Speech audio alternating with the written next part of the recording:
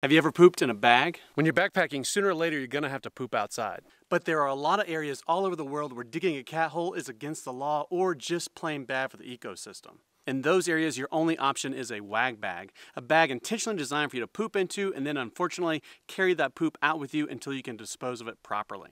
Inside there's a non-see-through Ziploc bag, which is important, a larger bag with some absorbent deodorizing crystals, a little bit of toilet paper, and a wet wipe.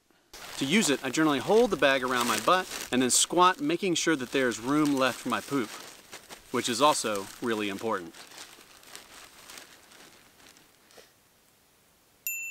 Once I'm done, I twist the bag up real tight and then stick it in the Ziploc bag.